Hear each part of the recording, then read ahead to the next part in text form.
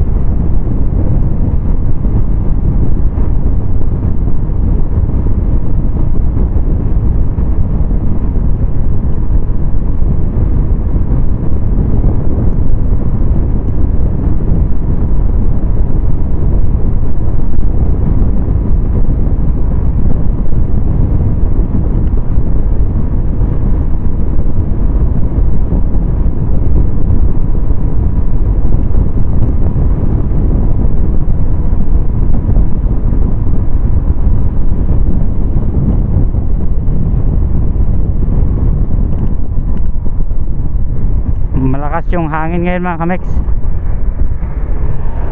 Kaya hindi siya umabot ng isang daan. 94 lang siya ay 98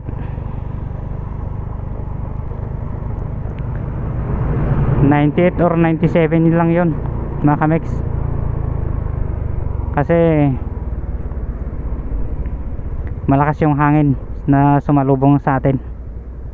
Hindi natin natsambahan yung direksyon ng hangin. Kaya ulitin ko pa muna ng isang beses mga kamex. Sana makuha na natin dito na lagpas pa sana ng 110 at ito na mga kamex ulitin natin dito. Pa unahin lang natin yung sasakyan. Yan ito na mga kamex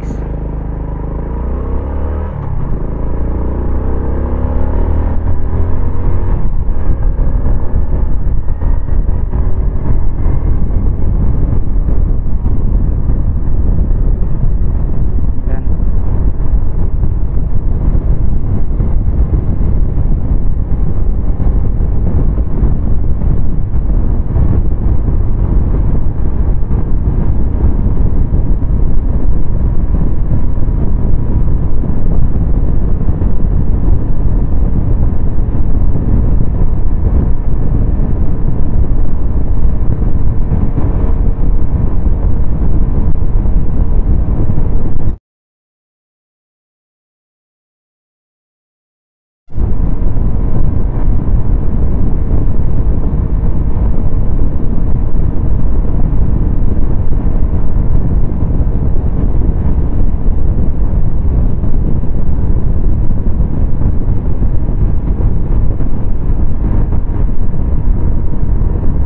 Yan mga kamex.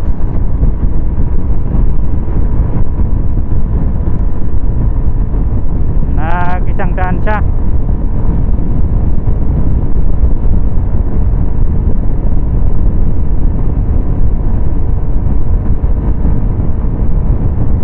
Isang daan yung kaya niya.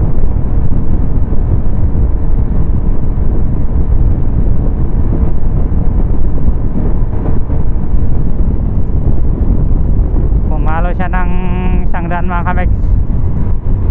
Itong 1434 na sprocket combination.